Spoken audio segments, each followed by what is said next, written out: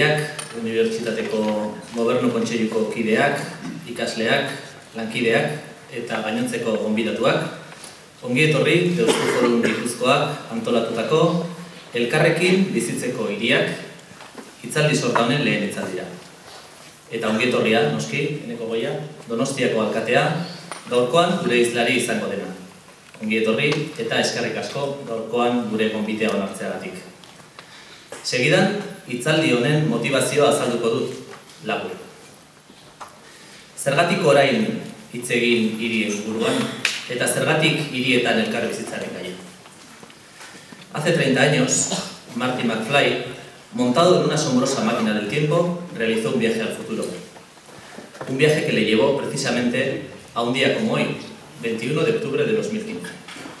En regreso al futuro, las ciudades estaban repletas de coches voladores y edificios futuristas, ropas uniformes y teletransporte. Hoy, llegados a esta fecha, nuestras ciudades están lejos de ser los espacios futuristas que imaginaban las obras de ciencia ficción. El espacio urbano es un espacio de confluencia, de encuentro. Es, sin ninguna duda, el espacio de interacción por excelencia. Y es a partir de estas interacciones donde nace la convivencia, desde la común unión de las personas que conforman esta realidad. Atxagak esan zuen, lehen urtean, Deusto Forum eta Larramendi Forumeren artean antolatutako itzaldi batean, hiriak maila berean bete behar hiru funtzio. Latinezko hitzekin jasoak. Urbe, maila fisikoan, civitas, maila sozialean, eta polis, noski, politikoan. Hauek, hiri guztien elkarbizitzaren oinarri direla arguiatu zuen, hiri guztietan hau berez ematen baita. Hiriek ez baitute bere horretan inorrere kanpora botatzen. No hay duda de que en la sociedad vasca del siglo XXI no son pocos los elementos a tener en cuenta a la hora de entender e interpretar la convivencia de las ciudades. Este mismo fin de semana leíamos cómo desde Donostia 2016 se nos invitaba a convivir desde la suma del tú y el yo, viviendo juntos con la vecina ruidosa, con bañistas, con turistas o ciclistas urbanos. En esta convivencia influyen, no hay duda, desde factores de índole económico, como el comercio, la hostelería o el turismo, hasta fenómenos como la pobreza o el envejecimiento, que desde una perspectiva social configuran también la realidad de nuestros pueblos y ciudades. Y todo ello sin olvidar el tan necesario proceso de reconciliación en el que también estamos embarcados, Ayer a la tarde, hoy, se cumplen precisamente cuatro años desde el cese de la lucha armada por parte de ETA. Todo ello configura el marco en el que situamos este ciclo. A continuación, y aunque creo que no es muy necesario, porque todos le conocerán, eh, pasaré a presentar a nuestro conferenciante de hoy, Eneco Goya, alcalde de Donostia, San Sebastián. Eneco Goya ha sido parlamentario vasco, diputado de infraestructuras viarias, y posteriormente, tras cuatro años ejerciendo las tareas de oposición en el Ayuntamiento de Donostia, este 13 de junio pasado fue elegido alcalde de la misma. Visto lo visto, no sería aventurado decir que conoce a la perfección este complejo entramado institucional que conforma la comunidad autónoma de Euskadi. Es ya una ventaja de entrada a los tiempos que corren. Askotan entzun dugu bere burua independentista gisa definitzen, bestekiko errespetutik, bara, baina berenganako errespetu bera eskatuz. Errespetua elkar bizitzarako klabe garrantzitsu bat, zalantzare gabe. Kampus honetan bertan, udala hauteskunde aurretik egindako eztabaidan, bere erreferentea Ramon Labaien zela aitortu zigun. Momentuz, lortu du Labaienek bezala Donostieko alkatetza. Hemendik aurrera, idazteko dagoen liburua izango da. Antes de ceder la palabra al alcalde de Donostia, me gustaría explicarles que, siguiendo la tradición de Deusto Forum, las preguntas que quieran realizar para el coloquio posterior se harán en las tarjetas que se han repartido a tal efecto. En el momento que consideren, pueden entregar las tarjetas a las personas que están, creo que estarán en los pasillos recogiéndolas y yo mismo las formularé en el coloquio posterior. Eh, insisto, no es necesario esperar al final, las pueden ir escribiendo según se les vayan ocurriendo y las formularemos después en el coloquio. Nada más, eskerrik asko berriro gure gonbitea onartzeagatik eta zure ditzen.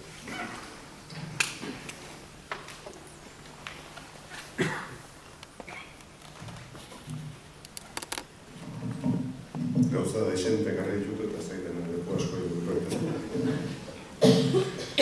bueno, egunon guztioi da eskerrik asko zuei luzatu dira zuten gonbidapen hau luzatzeagatik. Egia esan, e, Felixek izena gaurko hitzaldiaren izena eman zidanean esan dugu joño. Ez da badan erreza ez. Ciudades para vivir, ciudades para convivir. Nundik hasi, nun bukatu. Egia esan, gaia sugerentea da, baina baita ere zabala ez. Nik uste gauza askota zitzegin dezakegula. Da saiatu naiz, bueno, badako aukeraketa bat e, egiten ez. Niretzat garrantzitsuak izan daitezken gaiak aukeratzen, baina horrek ez du esan nahi noski. Ba, nik ikusten dudan donostia e, hori hor amaitzen denik, ez, seguruenik pesinte zabalagoa da. Eta pensatzen dut gero izan dezakegun elkarrizketan, ba, agian nik astertu, edo jorratu ez ditutan gaiak astertzeko aukera izango degula. Decía que bueno, el tema es amplio, yo he hecho eh, una, una selección y una distribución de lo que es mi intervención en tres partes diferentes. Una que titularía eh, Donostia Ciudad para Vivir, una segunda, Donostia Ciudad para Convivir, y una tercera parte que es una breve referencia a minuto publicitario de cara a lo que es el 2016, que sintetiza bastante bien algunas de las cosas que bueno, quiero expresar de las dos partes anteriores.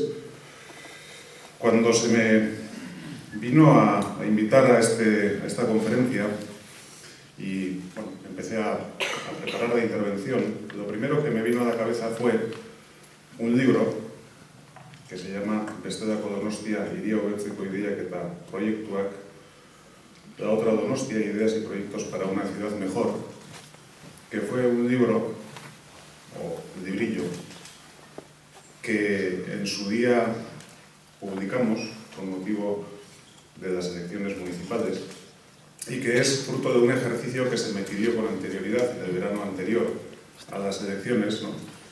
en el que se me dijo, ¿por qué de cara a poder hacer un programa no eh, pones negro sobre blanco cuál es tu visión de la ciudad? ¿Qué crees que es lo que hay que hacer en la ciudad? ¿no? Me dediqué un verano a escuchar música y a poner negro sobre blanco algunas ideas y después todo eso, pues como digo, se materializó en un pequeño libro que llegamos a cometer la pretensión de, de editar.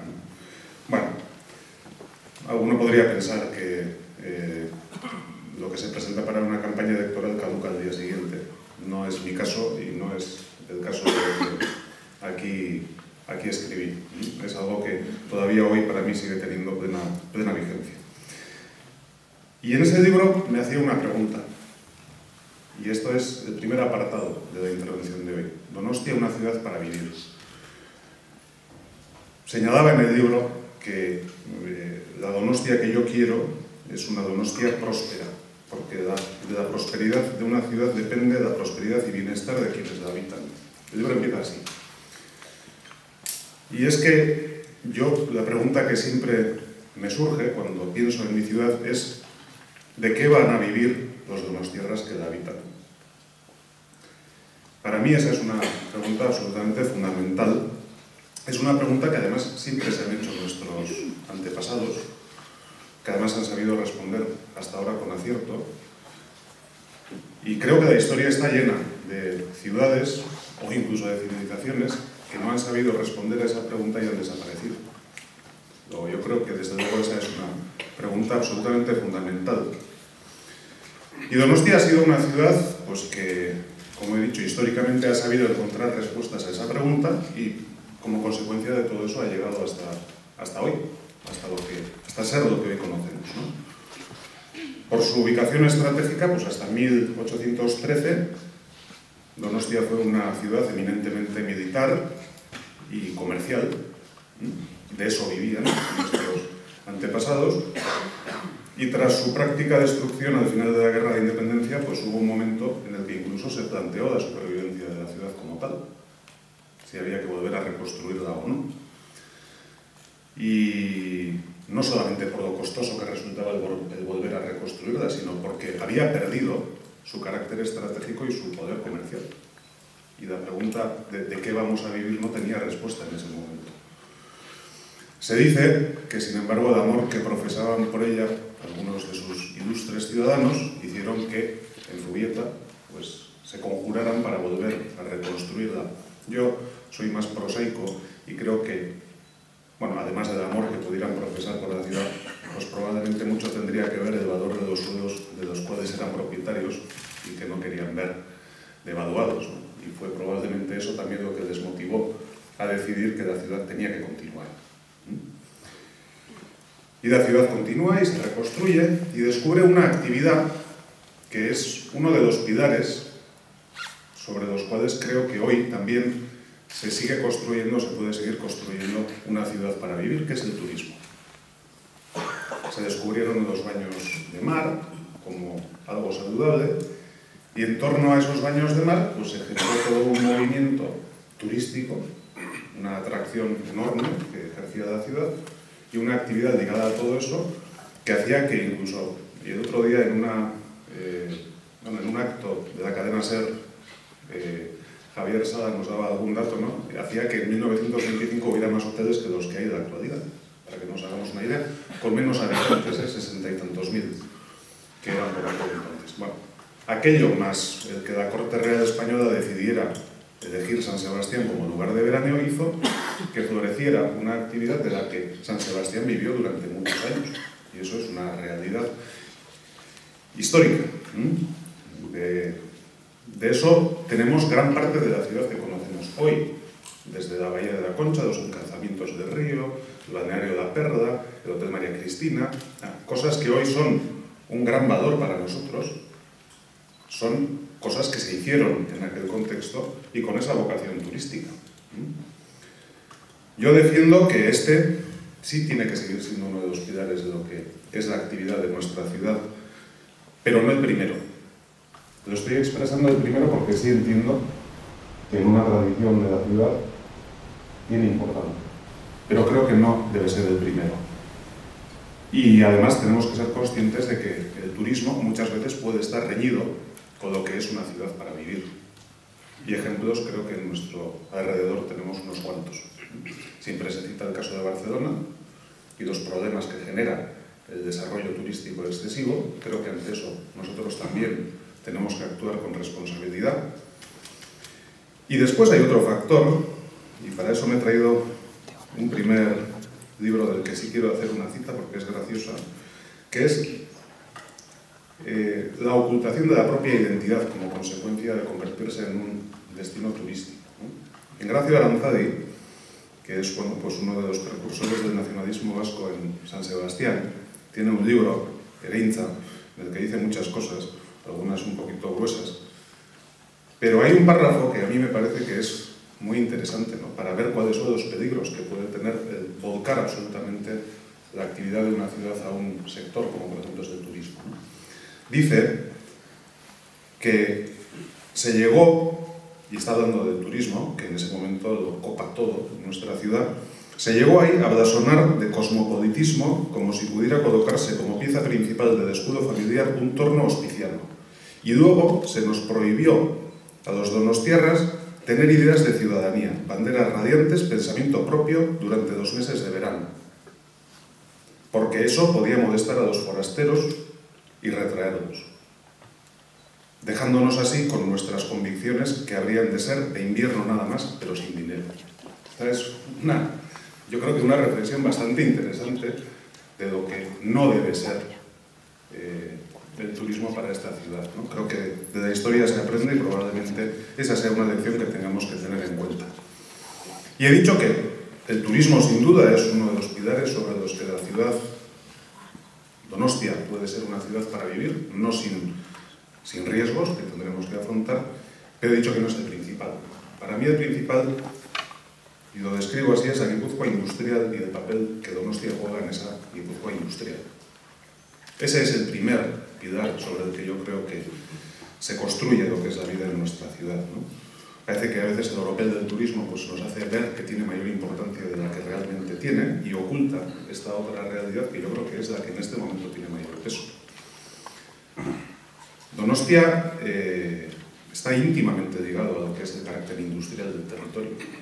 Desarrolla una enorme actividad ligada a esa eh, actividad industrial del territorio. Es verdad que nuestra ciudad no tiene eh, respecta a proporción del Producto Interior Bruto un porcentaje muy alto de, de industria, un 5,24% aproximadamente. Pero eso no quiere decir que nuestra actividad no esté ligada a la industria, lo está, de una manera notable además, a la industria del territorio. Y nuestra ciudad pues tiene índices de investigación un 2,86% del Producto Interior Bruto que superan a la media de la comunidad autónoma vasca, a la de Guipúzcoa y bueno, la del Estado no la quiero ni nombrar. ¿Mm? Somos ciudad sede de cuatro universidades, una, una de ellas esta, lo cual también nos da bastante muestra de que es una ciudad de conocimiento, y el conocimiento evidentemente es clave. Y, y, es una ciudad en la que se ofrecen servicios, sí, la actividad de servicios es la más eh, importante en este momento, en esta ciudad, pero son en gran parte servicios avanzados, también ligados a la industria del territorio. Y yo creo que este es un campo absolutamente fundamental y que es un campo además el primero, el primer pilar sobre el que yo creo que se basa el futuro de la propia ciudad. Y a la pregunta que hacíamos es, al principio, que hacía yo al principio, de, de qué vamos a vivir, creo que una de las respuestas es esta, y creo que es la primera. Y la tercera, pues probablemente sea la apuesta cultural. Este es otro de los pilares fundamentales que yo describía en el libro, que me refería, ¿no? a la hora de, de decir de qué vamos a vivir en el futuro, de qué va a vivir esta ciudad en el futuro. Esta es una apuesta que viene de largo alcance. Aquí se ha citado a Ramón de Valle, que yo ponía como referente, desde luego, en lo que a, a alcalde de San Sebastián se refiere. Y esta era una apuesta que él tenía muy clara.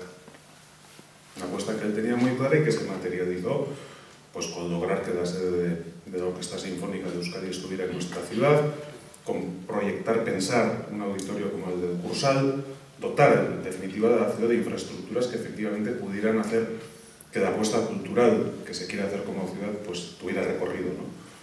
Y yo creo que, sin extenderme, hay suficientes elementos como para considerar que esta es una apuesta que como ciudad podemos hacer.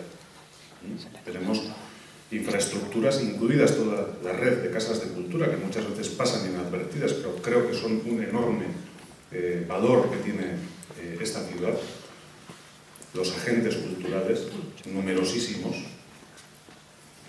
y ahora tabacadera, que yo creo que es el gran reto que en el ámbito cultural tenemos de cara a futuro. Porque aunque luego citaré el 2016, pues el 2016 pasa o pasará, pero lo que permanecerá es tabacadera.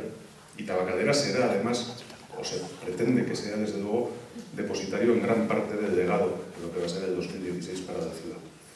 Luego yo creo que sobre estos tres pilares es sobre los que desde luego San Sebastián podrá seguir siendo una ciudad viva y una ciudad para vivir. Y esta es una apuesta compartida, yo la entiendo así.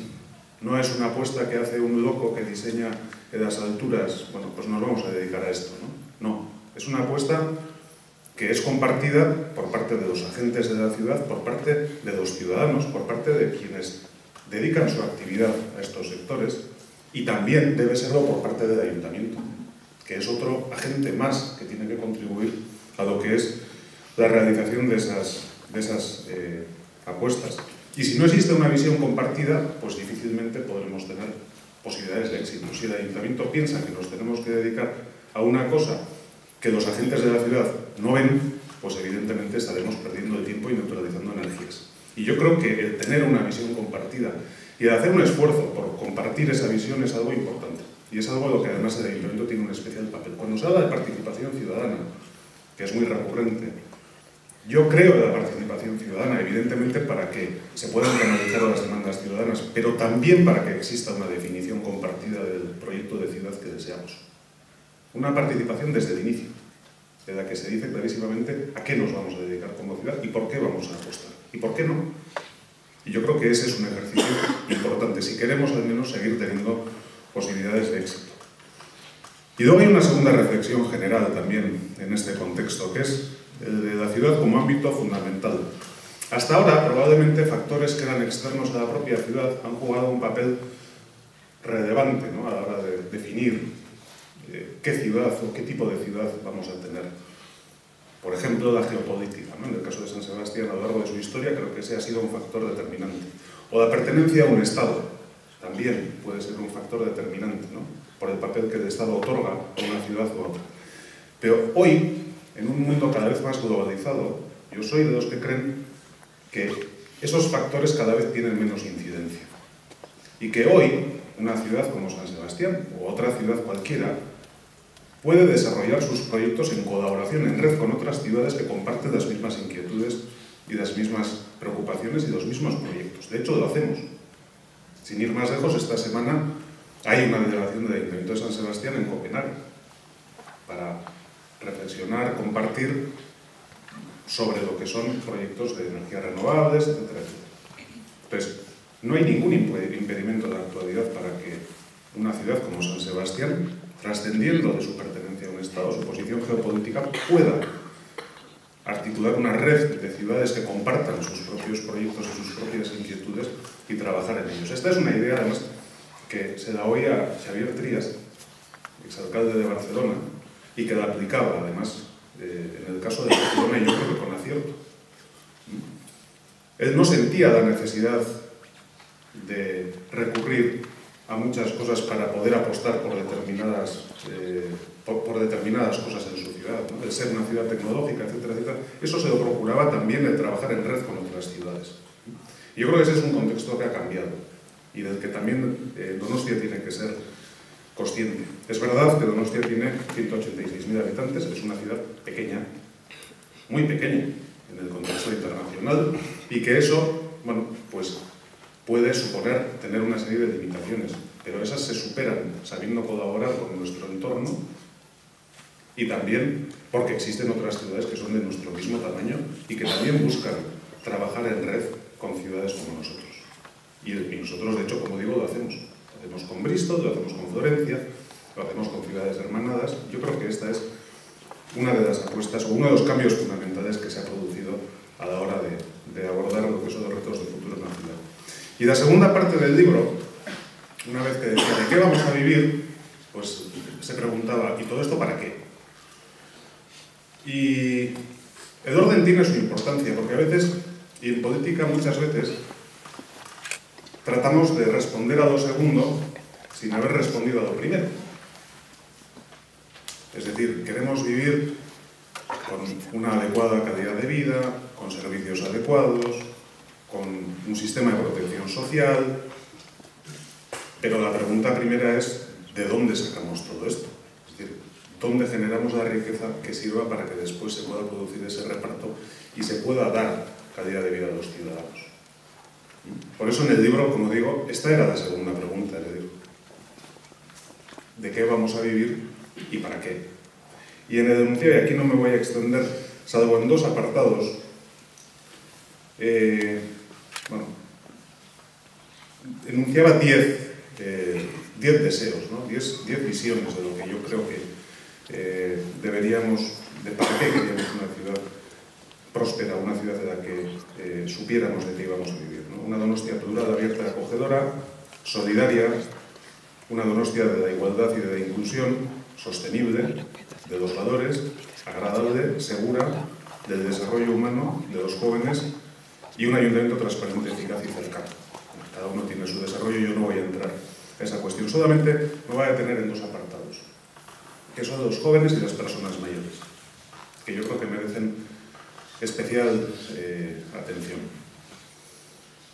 Aunque muchas veces nos quejamos de que vivimos una situación de crisis económica dura, y es cierto, con consecuencias pues, eh, muy, muy graves, sobre todo para quienes padecen en este momento desempleo, que son más de 10.000 personas en nuestra ciudad. Lo cierto es que en términos generales, en comparación con nuestro entorno, San Sebastián tiene unas cifras que son la envidia del entorno.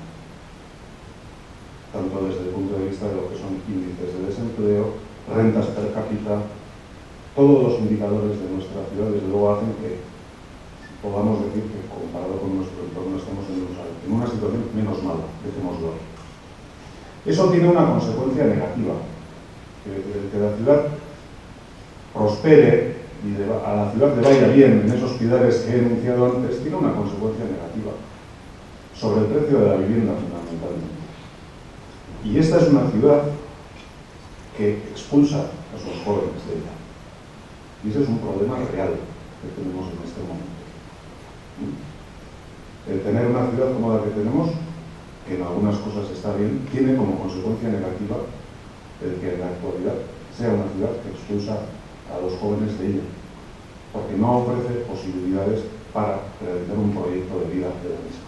Y esa es una realidad que a mí y al ayuntamiento nos preocupa enormemente. Y que implica la necesidad de tener que hacer un esfuerzo en oferta de, en oferta de vivienda pública, en régimen de alquiler, eso sí, porque yo creo que al menos desde el ayuntamiento lo que es el régimen de propiedad se acabó. Pero sí el poder ofrecer desde luego la posibilidad de que el proyecto de vida de la gente joven se pueda desarrollar en la ciudad. Y este es uno de los grandes apartados que desde luego creo que, que bueno, pues debe ser objeto de preocupación desde luego por parte del ayuntamiento y que es uno de los problemas que tenemos. Que si no hacemos frente además va a configurar totalmente la composición social de la ciudad y también sus posibilidades de, éxito a futuro. Y la segunda es el papel de las personas mayores. En 2030, un tercio de la población de Donostiarra pues, tendrá más de 65 años. Y yo esto nunca lo he visto como un problema, lo digo sinceramente, lo veo como una oportunidad. Porque son personas mayores de 65 años que tienen todavía un horizonte de vida largo y además activo. Y lo que tenemos que ser capaces de hacer es de buscar cuál es el papel y participación de esas personas mayores en nuestra ciudad. Y yo creo que esa es una gran oportunidad que puede aportar también a lo que es la propia ciudad. El buscar y ser capaces de, de ver cuál puede ser el papel y la la aportación que pueden hacer esas personas una vez terminada su vida laboral, si siguen siendo activas, que yo desde luego creo que es lo que hay que promover el envejecimiento activo, las políticas de envejecimiento activo. Yo creo que ahí también tenemos una de las grandes oportunidades. Con esto termino eh, lo que es el primer apartado y entro a la segunda parte. No sé cómo voy de tiempo. La Donostia, o Donostia una ciudad para convivir. Al principio pensaba hablar más de esto que de lo primero, porque cuando le pregunté a Félix, oye, ¿cómo, ¿cómo, quieres plantear el tema? Me decía, jo, pues eh, normalmente cuando se refiere a nosotros, eh, pues suele ser habitual que hablemos de convivencia, del reto de la convivencia de, y de nuestro tema. Pero ya, pues a veces uno se resiste a tener que hablar solo de eso. Y he preferido hacer la distribución en dos partes diferentes. Pero bueno, creo que este es un tema que también eh, tenemos que abordar. Porque a la hora de abordar eh, la cuestión de la convivencia, desde luego, eh, yo creo que el foco de atención lo tenemos que poner en nuestra historia más reciente. Eh, es verdad que los problemas de convivencia no se limitan únicamente a lo que eh, sería la violencia ejercida con fines políticos o las consecuencias de esa utilización. La convivencia es un concepto más amplio y contempla múltiples facetas y múltiples aspectos en una ciudad pero yo creo que eh, negaríamos la evidencia si no fuéramos capaces de reconocer que el principal problema de convivencia que ha tenido nuestra ciudad es el derivado precisamente de la utilización de la violencia con fines políticos. Yo creo que sería hacer un ejercicio de, de ceguera. Antes de entrar a fondo con esta cuestión, lo que sí que voy a apuntar eh, es una cuestión que de cara a futuro probablemente será un problema que todavía no sé si adivinamos, y es la cuestión de la convivencia eh, en un contexto de diferencia cultural. Yo creo que este tema es un tema que todavía como ciudad no sé si ni intuimos,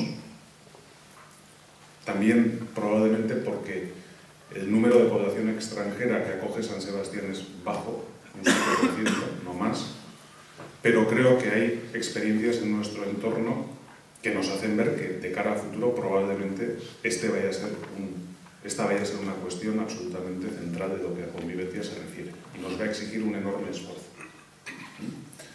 Lo quiero apuntar porque creo que de cara a futuro esta es una cuestión que vamos a tomar, o a tener que tomarnos muy, muy, muy en serio. Y como digo, si queremos evitar situaciones que estamos viendo que se producen en, en otras ciudades, habrá que poner los medios para ello. Pero eh, probablemente la situación a futuro vaya a cambiar y ese 7% vaya a ser muchísimo mayor en el futuro. Yo creo que de eso tenemos que ser conscientes y eso lo tendremos que abordar. Pero volviendo al tema anterior, que es el principal que he querido enunciar. ¿no? Según se recoge en el documento Retratos Municipales de las Vulneraciones del Derecho a la Vida en el caso vasco, elaborado por la Secretaría General para la Paz y la Convivencia del Gobierno Vasco, Donostia, y este es el documento, cuenta con 126 vulneraciones del derecho a la vida producidas desde el año 1960 hasta la actualidad. A mí cuando me repartieron este eh, libro en Bilbao, en un acto que se realizó con presencia del Dakari, quienes me acompañaban me decían, tienes el libro más gordo.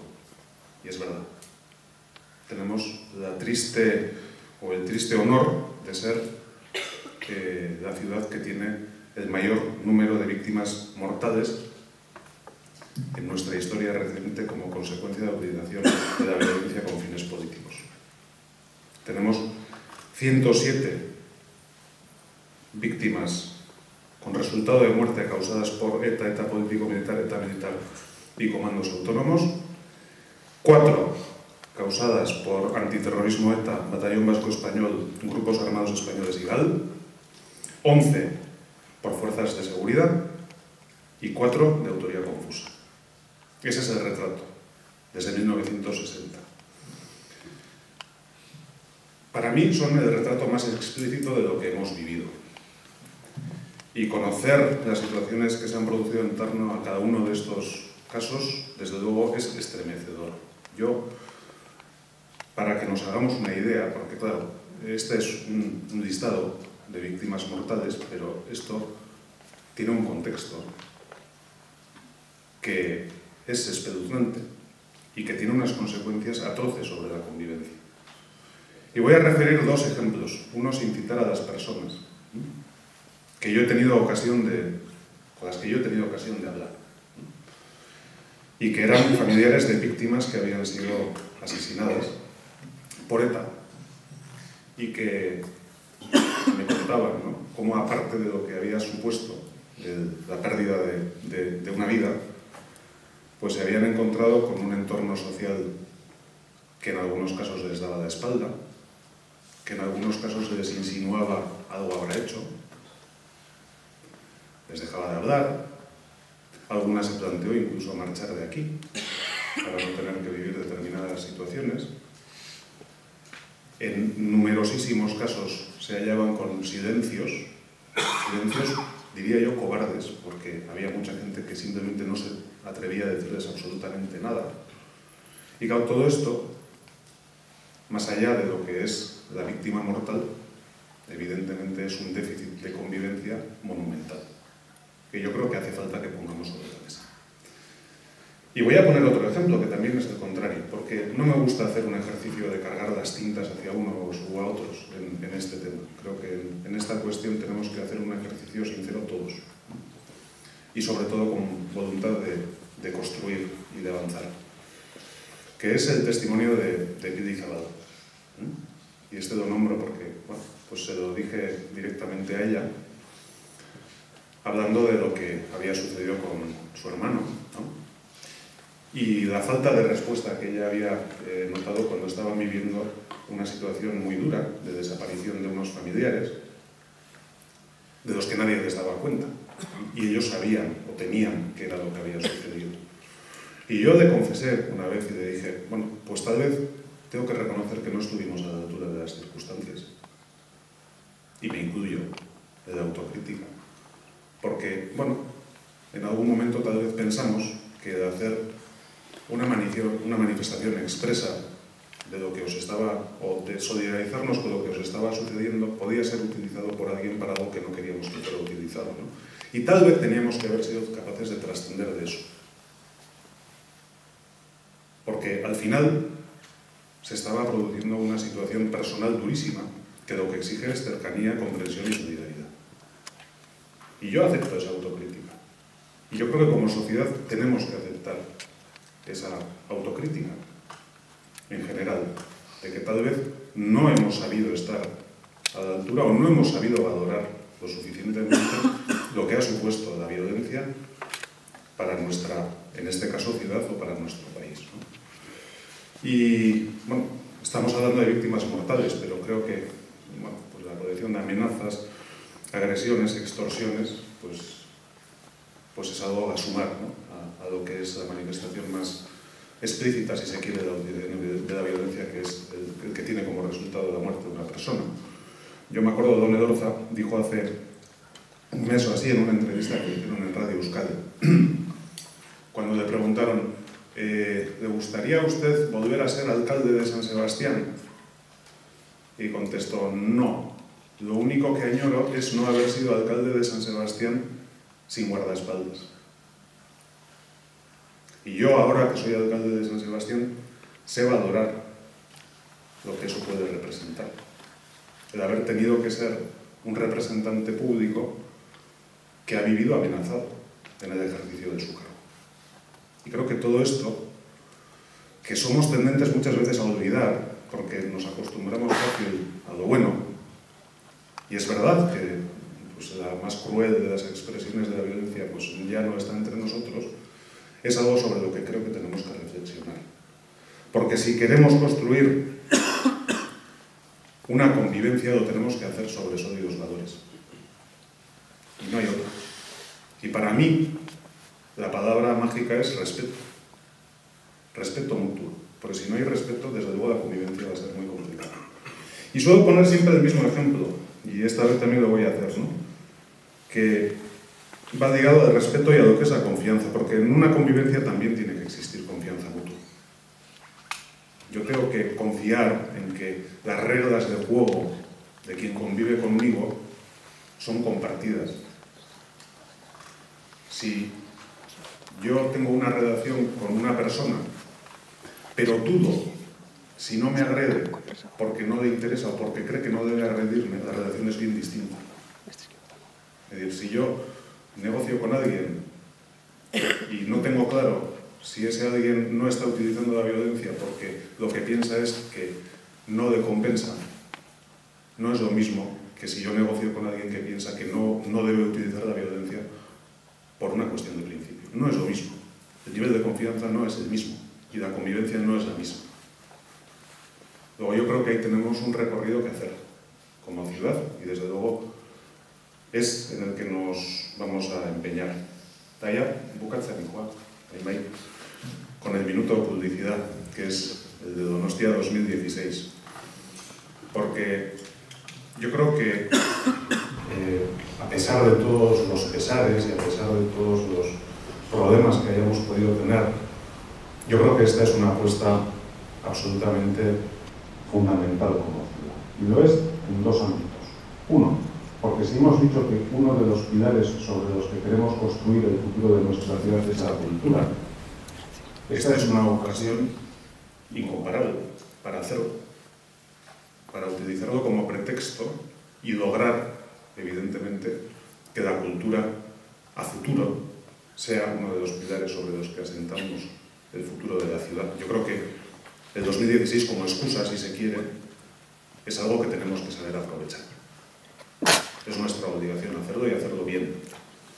Y lo segundo, por lo que es el propio contenido del proyecto y la apuesta que representa.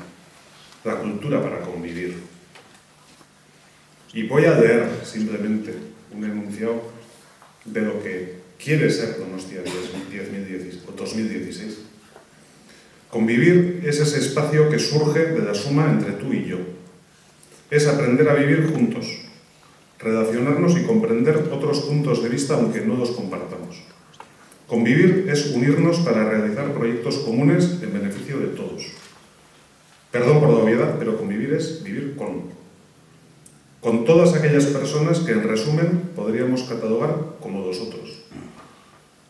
La capacidad de compartir el espacio físico y mental en armonía, superar los conflictos y formar juntos una comunidad, un proyecto de vida en común. A veces no sabemos, no somos capaces, no estamos preparados para convivir.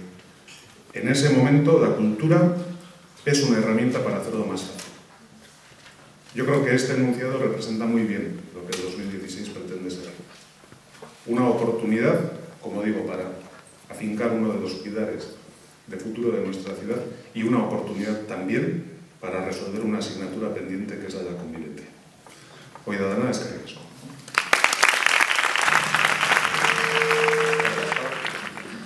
Buenas. Perfecto. Vamos perfectamente.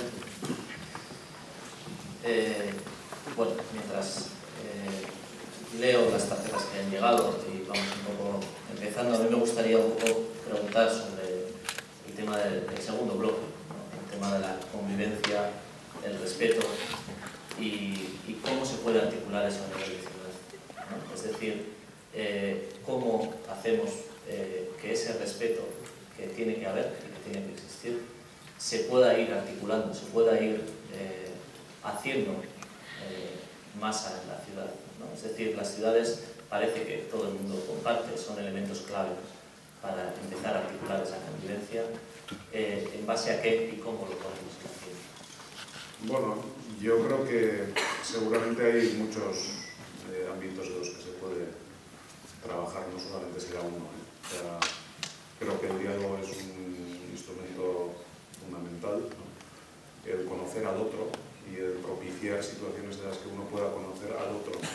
Creo que es algo que, que, que sirve efectivamente pues, para ese respeto se pueda ir construyendo como base de nuestra eh, convivencia.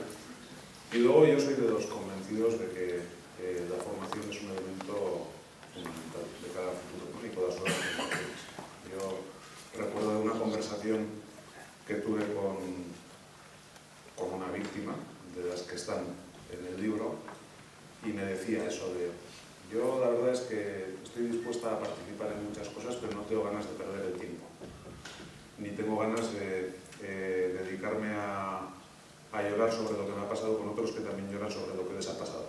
O sea, quiero pensar de cara a futuro y qué puedo aportar de cara a futuro.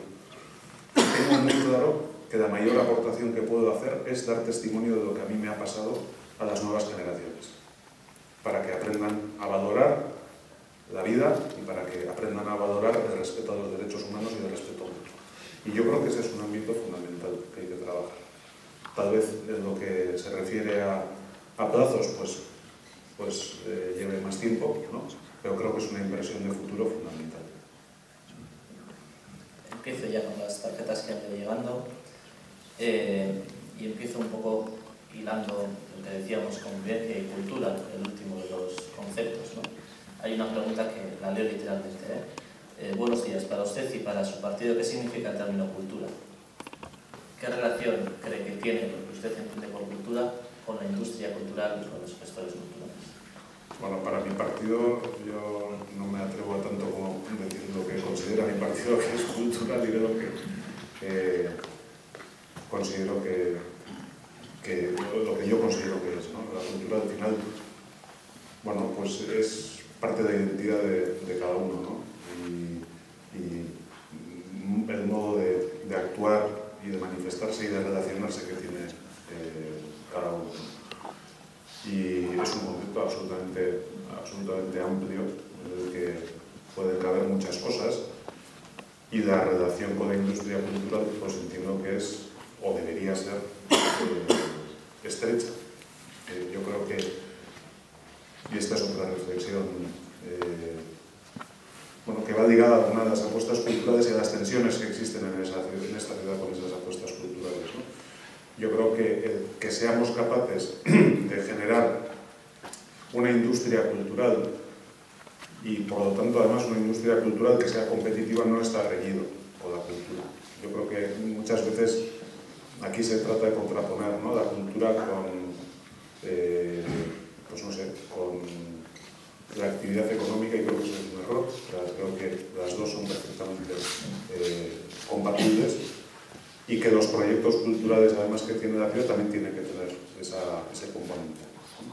El 2016 es un proyecto cultural en el que lo que se busca es utilizar la cultura para la convivencia, pero eso no quiere decir que no deba servir para promover la creación de industria industrias culturales y para lograr también bueno, pues que exista un beneficio de, esa apuesta que se hace como ciudad. ¿no? Creo que son absolutamente compatibles.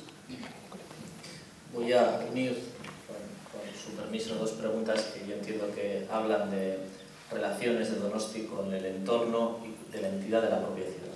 ¿eh? No son iguales, pero creo que tienen relación. ¿eh? Una dice que, dado el tamaño y la ubicación de Donostia, tiene sentido defender a Guipúzcoa como ciudad y no solo Donostia. Una es esa, y la otra sitúa el papel de Donostia en relación a Donostia Aldea, Guipúzcoa y Euskal Herria. Creo que la lógica es distinta, pero habla de la relación eh, con el entorno. A yo no, no, no puedo hablar de Guipúzcoa como ciudad porque soy alcalde de Donostia y Donostia tiene 186.000 habitantes y el término municipal que tiene. Entonces yo me, evidentemente respeto ese, ese, ámbito que es el mío, el que me corresponde en este momento. ¿no? Pero, pero evidentemente yo sí creo en, en la Donostia metropolitana o en, en, lo que es eh, pues una visión muchísimo más amplia del puro término municipal. Y además es que creo que es el futuro. Cuando he, hecho, cuando he citado ¿no? de cara a lo que es eh, bueno, pues, eh, la nueva manera de funcionar que se impone en el mundo como consecuencia de la globalización mediante la colaboración y el establecimiento de redes, ya he dicho que hay redes en las cuales bueno, una ciudad como Donostia difícilmente puede eh, participar porque no tiene dimensión, ¿no? y sin embargo en colaboración con puede tenerlo. Y yo creo que de la colaboración surgen nuevas oportunidades. ¿no?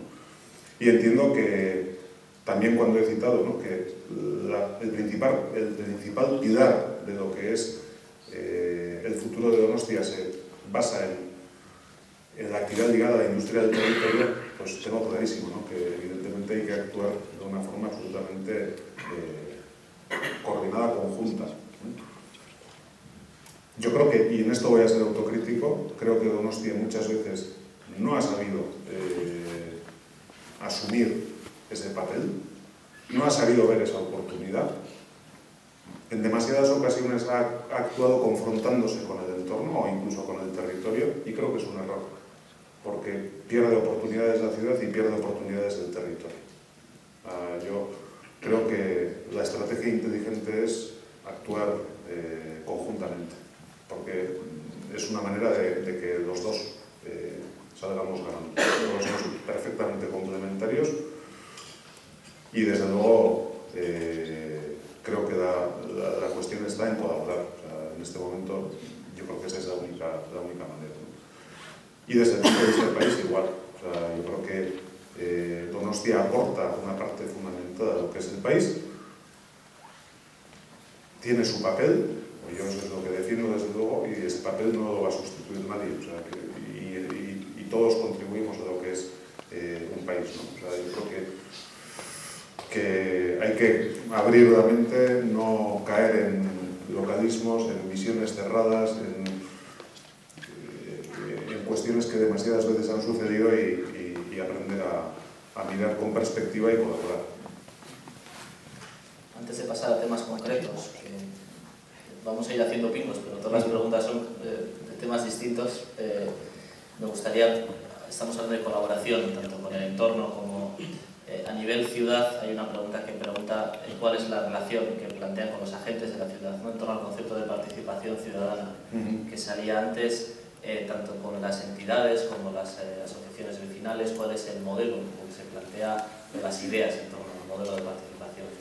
Bueno, ahí hay varios instrumentos ¿no? que yo creo que se pueden poner en marcha simultáneamente. O sea, no hay una única manera de participación. Está el Consejo Social, que está definido como órgano máximo de participación en, la ciudad y en la que participan diversos agentes que pueden ayudar a hacer esa visión compartida que yo he defendido que tiene que ser compartida y creo que en ese sentido es un instrumento que es útil, que puede servir para hacer una definición estratégica de la ciudad compartida. Está la relación directa con los vecinos, con los ciudadanos, desde las cuestiones más sencillas hasta lo que puedan ser reclamaciones más de, barrio, que tienen sus fórmulas articuladas, todas mejorables, evidentemente, pero creo que son instrumentos que hay que seguir trabajando. El contacto permanente de elaboración de presupuestos participativos, yo creo que son dinámicas que, que también eh, aportan, y por qué no las consultas. Yo creo que también hay momentos en los que en una ciudad pues eh, hay que utilizar la consulta como elemento de participación directa de la ciudadanía en torno a cuestiones que sean objeto de, de debate. Yo creo que no hay una única fórmula, pues probablemente sean varias que se puedan utilizar para, para propiciar esa participación en distintos niveles y, como digo, la colaboración de los distintos agentes en, en los proyectos de, de la ciudad. Hay un bloque respecto a preguntas sobre turismo que las voy a hacer eh, un poco a la vez. Como sabrás, uno de los grados principales de nuestra universidad es el grado de turismo y creo que hay alumnos y alumnas que están planteando preguntas interesantes sobre el tema, así que eh, voy a plantear eh, una pregunta sobre la política turística eh, del ayuntamiento. Cómo se trabaja con los agentes turísticos y sobre el turismo cultural eh, concretamente. Eh, hay otra también eh, que pregunta sobre el tipo de turismo y el turismo cultural, si se va a mantener o se va a apostar en el turismo cultural eh, concretamente y unido a la identidad, ¿no? con la reflexión que también eh, hacías en la conferencia. Eh, la leo literalmente, si se va a apostar por mantener una identidad original con fuerte esencia autóctona o también tiene en cuenta favorecer los aspectos culturales más globales. Eso nos plantea la pregunta. Eh, y luego hay una tercera que pone el foco en un lugar un poco distinto, qué tipo de turista quiere cada uno. A ver, empezando por la del medio. O sea, en un mundo como el actual tan globalizado, ofreces algo diferente, o lo demás, si vas a ofrecer lo mismo que ofrece todo el mundo, no tienes nada que hacer. Y yo soy de los que creen que si hay una característica que tiene esta ciudad es eh, su ser vasco, que nos hace diferentes al resto. Y ese es un valor, un valor en positivo. Y creo que toda eh, estrategia turística debe tener absolutamente en consideración eso, porque lo demás caeremos de la globalización. La Donosti no es una ciudad que pueda ofrecer un turismo de sol y playa, ni quiero, ¿eh? o sea, también lo digo. Luego sí que es un turismo cultural el que creo que puede promover y debe promover. Y en ese sentido creo que eh, el preservar y demostrar o mostrar lo que somos es un elemento fundamental. Cuando me he leído el, el párrafo de, de Engracia Aranzadi, pues quería poner de manifiesto eso, ¿no? que en el pasado tal vez, pues eso no ha sido así, pero yo creo que hoy en día es un valor y que tenemos que tener asumido que eso es un valor y que es un valor, bueno, pues del que además de estar, orgullosos, pues, pues, pues podemos utilizar como, como elemento turístico. O sea, yo cuando voy a Escocia, pues voy a ver gaitas y faldas, pero no voy a ver Zara, no sé cómo decir. Entonces, yo creo que eso también eh, funciona aquí, igual. Eh, respecto a, a qué tipo de turistas, hombre, yo no sé si se puede hacer una selección tan, eh, tan precisa, ¿no? pero evidentemente yo creo que el foco lo tenemos que orientar hacia el turismo cultural, hacia el turismo de empresa, yo creo que ese es otro ámbito eh, bueno, en el que la ciudad tiene posibilidades y que es interesante, o el de congresos, ¿eh? que además es algo que habíamos decidido hacer. Porque bueno, yo soy de los que piensa que cuando una ciudad hace apuestas, pues es para mantenerlas, salvo que alguien venga y te demuestre lo contrario. ¿no? Pero yo creo que esos son eh, segmentos a los que bueno, pues la política turística de la ciudad debe ir eh, orientada. ¿no? Y creo que hay una oportunidad fundamental que no hemos sabido explotar hasta ahora, y es la integración. Y esto va ligado con, con si Guipúzcoa es una gran ciudad, ah, y es el saber eh, incorporar y aprovechar lo que ofrece el territorio a la oferta cultural de la ciudad. Ah, Donostia es una ciudad pequeña que tiene una serie de recursos limitados, pero sí es capaz de incorporar los recursos que ofrece el territorio y a veces no lo vemos, o sea, lo digo sinceramente, a veces no lo vemos, creo que, bueno, o sea, ganamos todos de, de, de una forma absolutamente clara. O sea, yo, la oficina de turismo de Donosti no quiero que ofrezca solamente lo que es eh, el Paseo de la Concha, los pinchos de la parte virgen, o sea, que quiero que ofrezca el Museo Valenciaga, que ofrezca la Basílica de Loyola o que ofrezca eh, la Basílica de Aranzazu. O sea, porque eso es, eso es eh, saber jugar con, con inteligencia. O sea, yo creo que esa es la apuesta que, que, tendríamos que ser capaces de hacer. Y creo que desde Donosti no hemos sabido hacerlo hasta ahora con ACID. Una sobre los jóvenes. También entiendo que desde el mismo ámbito del público. Eh, si no se quiere que las personas jóvenes se vayan de la ciudad, eh, ¿qué tipo de apuestas se van a hacer para evitarlo? Ahí hay dos materias en las que trabajar. Una, en ofrecer posibilidades de, de empleo, esa es una. Y como ciudad, aparte de, eh, bueno, de ofrecer unas condiciones para que eso se pueda generar, pues hay políticas activas desde el propio eh, ayuntamiento, desde la propia sociedad de fomento, pero bueno, que hay que hacer y que se hacen y que están bien, pero que tienen también su efecto limitado. O sea, yo no, no, quiero hacer demagogia sobre lo que son planes de estímulo económico de 7 millones de euros, que es mucho dinero que se invierte, que ayudan y que a veces facilitan el que bueno, pues, eh, se puedan desarrollar proyectos de vida de la ciudad, pero que no son la panacea. O sea, o acertamos en que en, esos, en esas actividades a las que hemos, dedicado, hemos decidido dedicarnos, pues eh, lo hagamos bien, o lo demás, lo demás será poner planches. ¿no? Y luego está el tema de la vivienda. Y el tema de la vivienda es pues eh, absolutamente fundamental, pero difícil de tratar. O sea, yo no voy a ocultarlo. Es decir, la política que el ayuntamiento ha desarrollado, y Donostia, y no lo digo porque esté yo, porque lo han hecho los anteriores, ¿eh? y creo que ha sido una apuesta compartida a lo largo de la historia del ayuntamiento. Donostia tiene un parque de vivienda pública de alquiler que en proporción creo que no tiene ningún municipio del entorno de unos 1.800, un parque de unas 1.800 viviendas que puede ofrecer un servicio de alquiler social. ¿eh? Entonces, creo que esa es una política que hay que promover y en la que hay que ir a, a más. ¿no? Pues Minenea, operaciones como esta, pues son eh, actuaciones que, que efectivamente pues, pues buscan el poder ofrecer eh, eh, este tipo de, de recursos. ¿no? También hay otros proyectos, ¿no? como bueno, pues viviendas para jóvenes, etcétera, que se quieren con unas dimensiones y características distintas que también lo que buscan es eso. No es fácil de todas maneras. Yo eso tampoco, o sea, no quiero hacer promesas eh, ni demagogia. No es fácil, no es fácil y menos además en un contexto en el que, bueno, pues para promover este tipo de actuaciones hace falta financiación y también el ayuntamiento necesita eh, financiación. ¿no? Pero bueno, son políticas a las que tenemos que destinar recursos, inevitablemente, o sea, porque sirven para corregir un efecto que de otra manera es muy difícil corregir. Incidir directamente sobre el precio medio de la vivienda en San Sebastián desde un ayuntamiento es bueno, intentar hacer algo que me parece que es muy complicado, muy complicado. Entonces, el papel que uno puede tener, que puede jugar es precisamente es el de ofrecer eh, vivienda pública en régimen de alquiler bueno, que permita que los proyectos de vida de las personas jóvenes se puedan desarrollar en nuestra ciudad. También voy a decir una cosa, ¿eh?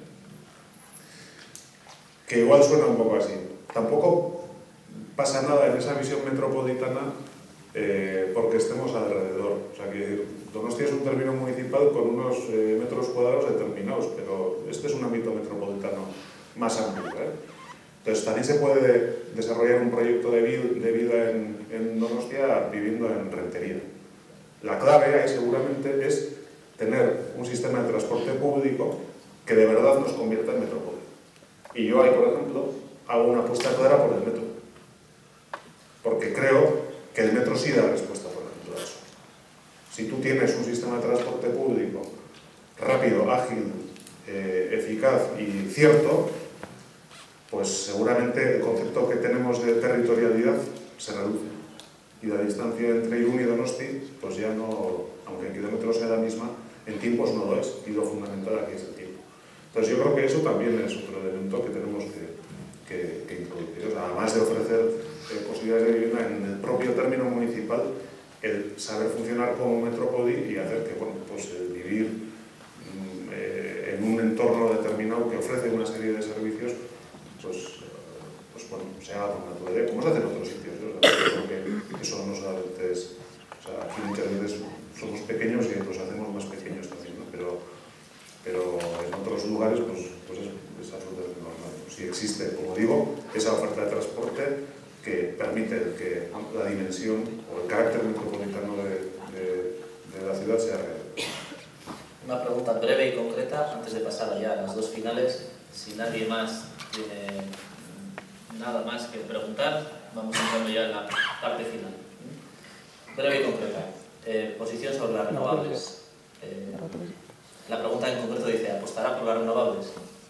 Sí, de, eso, de hecho eso es algo que, por la que la ciudad eh, está apostando.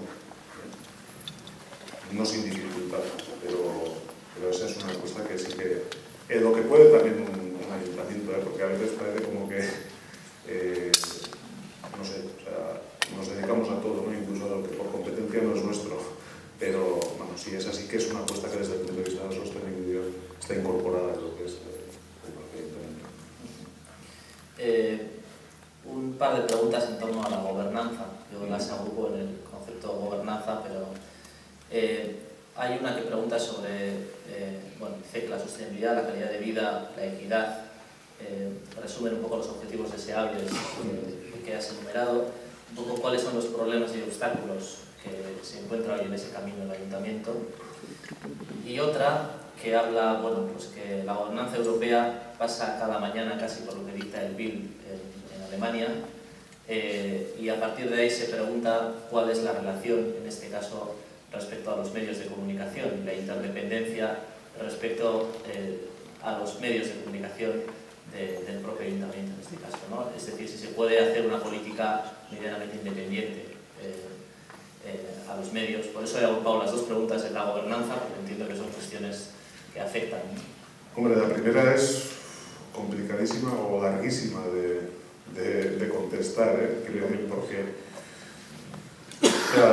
en un deseo de lograr una ciudad que ofrezca calidad de vida a sus ciudadanos y, una cierta equidad, pues los obstáculos son innumerables, evidentemente muchos, y además obstáculos sobre los que actúan no solamente la propia ciudad, sino muchos otros elementos. Es decir, el reparto de la riqueza no es algo que un ayuntamiento pueda propiciar, o sea, pues es algo que puede propiciar que puede propiciar muchos más eh, agentes ¿no? que participan en ello evidentemente los obstáculos son insalvables. En cuanto a ofrecer calidad de vida eh, a los ciudadanos, yo creo que básicamente el obstáculo fundamental es, eh, la, falta de, dinero en, muchas cosas. Eh, porque, al final, calidad de vida se ofrece teniendo una ciudad limpia y mantenida, que ofrezca determinados servicios públicos carácter cultural, deportivo, etcétera, etcétera.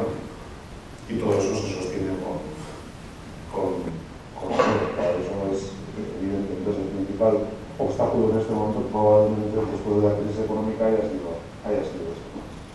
Pero bueno, múltiples. Y sobre lo segundo, a ver, eh, evidentemente yo creo que la política no ya de un ayuntamiento, de cualquier institución, no debe estar en función de,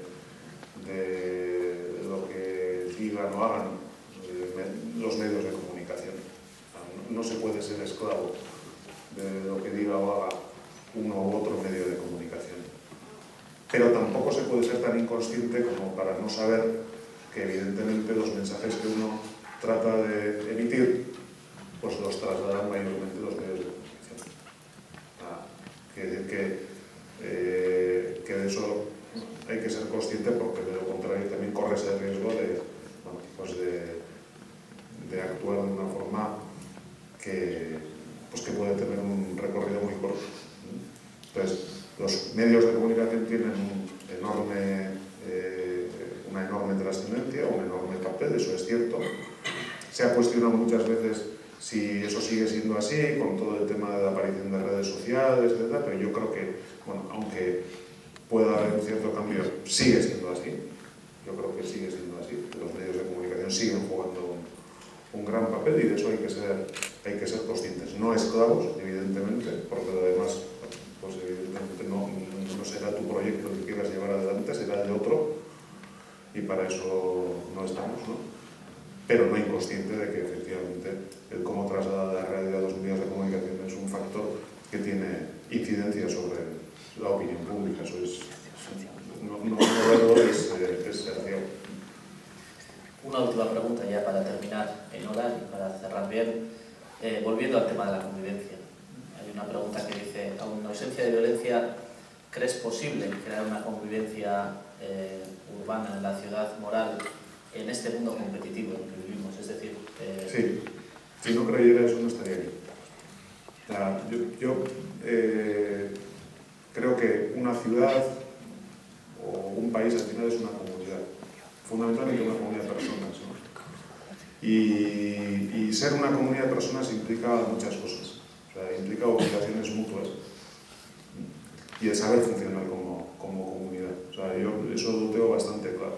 Entonces, si pensara que esto es un territorio poblado por personas que viven su individualidad, eh, no merecería la pena.